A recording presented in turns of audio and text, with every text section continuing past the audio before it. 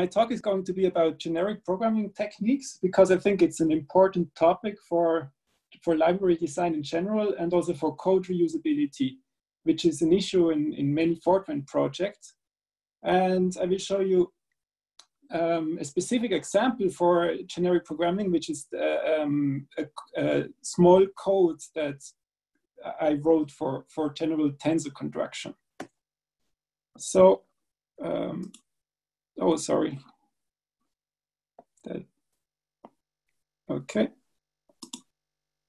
I didn't want that.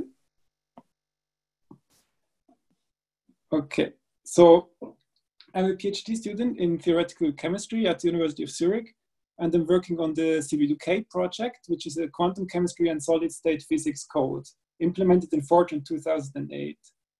And CP2K is particularly strong in algorithms that are based on sparse linear algebra. And these implementations are based on, on a library called DBCSR, which is a sparse matrix vector, uh, matrix tensor library. And just to mention a few of the tools that we use in CP2K to facilitate development in Fortran. So this is the Fypp preprocessor that we already heard of two times already in this conference, and which is used um, for template and macros, which are based on Python expressions. Then we use an auto formatter for our code that was developed by me, uh, fprettify, that um, does auto formatting of, of white space and indentation. And um, we use FORD to generate documentations. So I just mentioned this because I think we can highly recommend those tools because it actually facilitates development a lot. And my work um, is, or, my scientific interest is algorithms based on sparse tensor contractions. And for that purpose, I extended the DBCSR sparse matrix library to uh, uh, general tensor contractions and so, first of all, what does sparse mean? As you already heard in the talk from Maximilian Ambroise, who, who also talked about DBCSR. Um, sparse means that most matrix elements are zero and should not be stored or computed. Um, so, and because of that work, so that I tried to extend this very specific matrix library to general tensor contractions. So this is actually the inspiration to talk here about generic programming because I, I, use generic programming techniques a lot to come up with a very general API. Um, but in this talk, I'm not going to talk more about the DBCSR library, but I'm going to show you a, a slightly simpler example. So a code that I developed in a few days that actually just highlights some of the um, some of the generic programming techniques. So what is generic programming in general? Um, so essentially what it means, or what is the more technical definition is that uh, you apply the same algorithm to different data types. So a typical example that you implement the sort algorithm for uh, arbitrary data types. But a more broad definition I also think is important is that you solve a class of related problems instead of tackling each specific problem on its own. So it's not only about the data, but it's also about the algorithm that you choose. So that you choose a general algorithm that can be applied to many different problems. Now, what are important generic programming ingredients? So first, is, uh, there is runtime polymorphism, which means that you have a generic type that represents multiple specific types so a common example is that you have a shape class that can be um, then that, that, that is um, specified by a rectangle or triangle uh, type. And the second ingredient is, is templates and macros, which is also called usually a compile time polymorphism. And this means that you generate code for, for different types so that you generate different specific implementations for different data types. Now, polymorphism is, I would say, fully supported already in Fortran 2003, but not so for templates and macros. So Fortran standard does not include any notion of templates or macros, and compilers typically implement a very basic preprocessor, which is uh, CPP, the traditional mode, or FPP, which is really restricted to very basic functionalities, usually to just include and define. And typically for generic programming,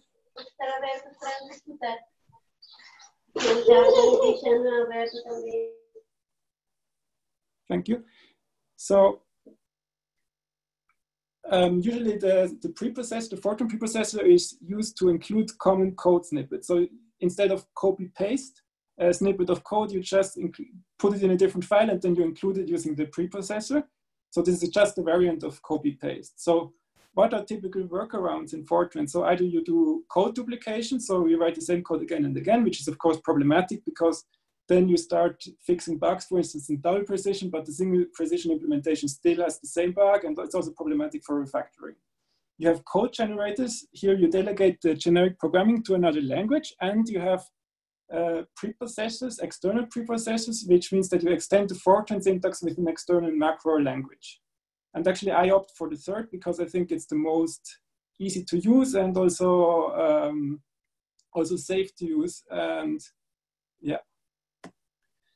So the example I want to demonstrate today is um, general tensor contractions. So here on the top, you find two expressions of tensor contractions.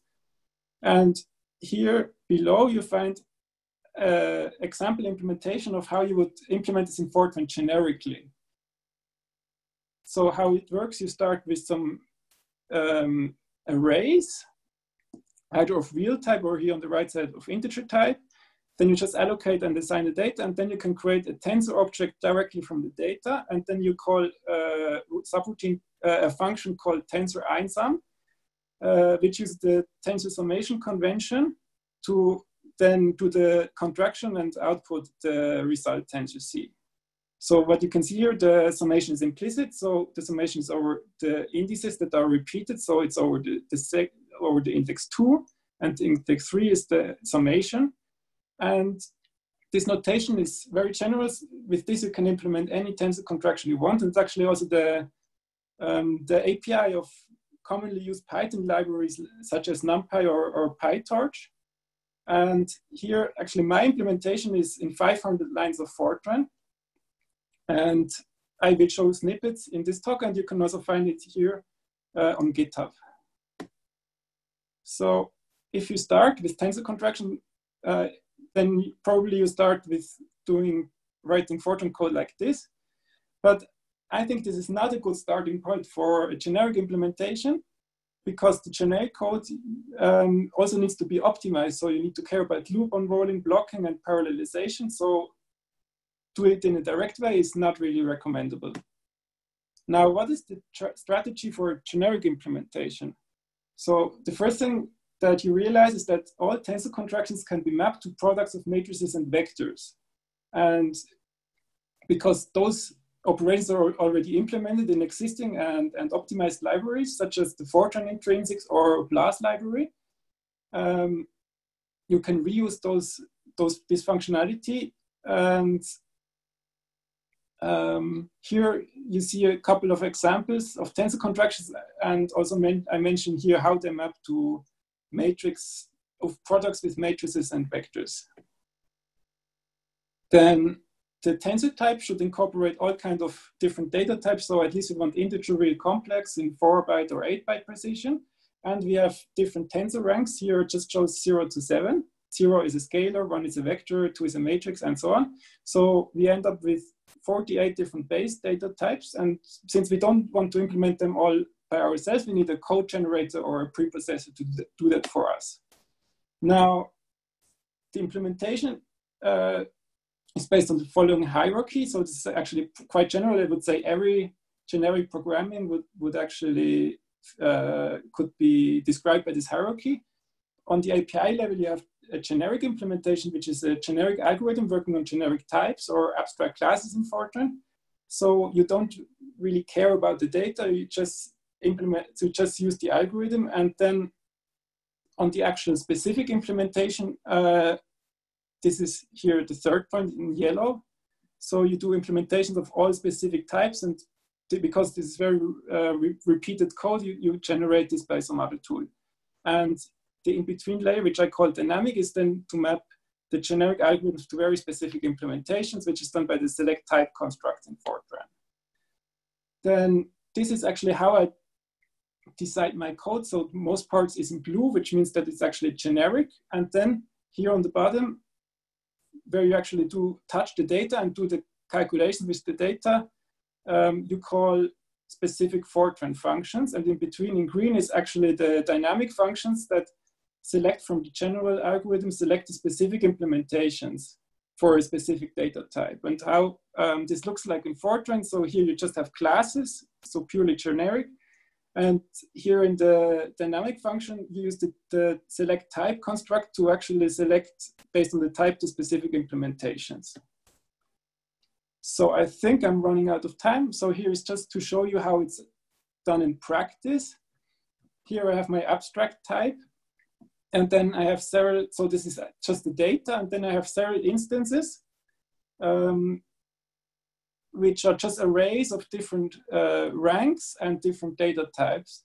As said before, you have many of those. So you, uh, so it's better to uh, generate them using a preprocessor and this is how it's done with the Fypp preprocessor. So I would say it's much more compact, but it's also ugly, so it's hard to read, but it's very compact and it's, it's much easier to maintain. So here is just a slide on the functionality of, of the Fypp preprocessor. Uh, fortunately, I don't have time to, to go into that more. You have iterated output to simulate templates. Then you have macros. And you can also insert arbitrary Python expressions. Now, these are the macros I defined in Fypp for my tensor code. Um, so for instance, I have this shape macro that takes a rank n and then converts it to the Fortran array notation. And this will then generate this array notation here. So here, then I go on to my tensor type. Tensor is essentially contains some data. This is already my abstract data class. And it also has a shape. And then the constructor, what it does, it essentially takes a data array. So this is this, heavily templated by Fypp. This is just a plain array and converts it into a, a general tensor type. So as promised, the final implementation of the tensor einsum, which is the tensor contraction, is purely generic. So from a tensor, I convert to a matrix. And then I do the matrix product, which actually could be a vector matrix product or a vector vector dot product or a matrix matrix product. And then I convert back to the matrix and I convert the matrix back to the tensor. And this is then the, the result I get from the function. Then the matrix product, I actually have to walk through all different combinations of different types and also do a loop with the Fypp preprocessor to automate the, the many combinations that I have. And then based on the tensor, on the matrix rank, so whether it's a scalar vector or a matrix, I select a specific implementation, so either dot product or ma matrix multiplication this just quickly, um, the Fortran standard already provides, provides matrix multiplication and dot product, but the outer product we implement ourselves.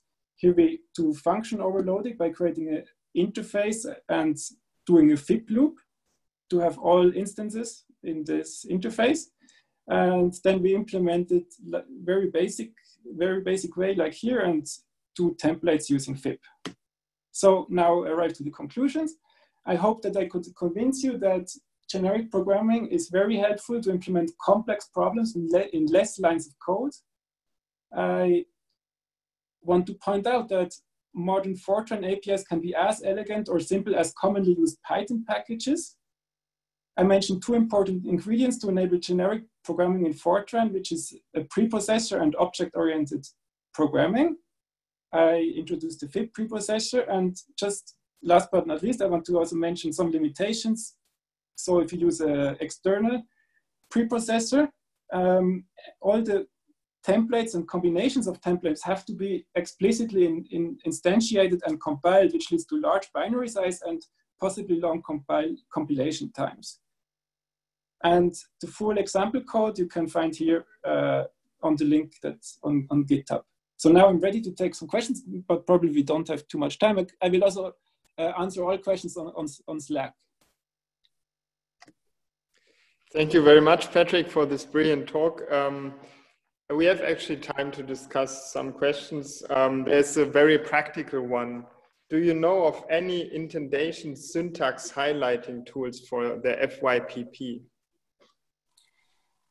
So for the for the Fypp, for the yes. for the language of Fypp, so I don't know any, but since it's essentially Python, there should be ways to get at least the Python part of, of Fypp expressions highlighted.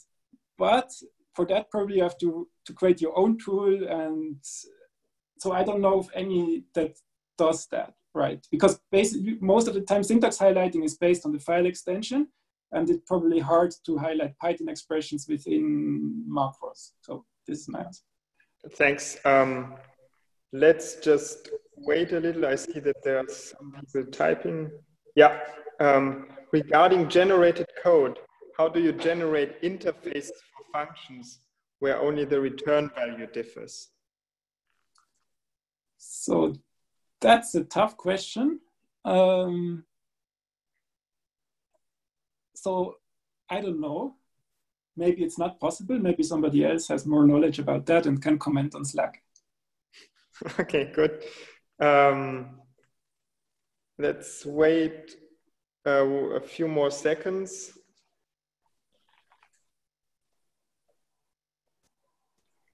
How well does the tensor library scale with the number of nodes? I, it's more about the tensor library. But... So this is about DBCSR?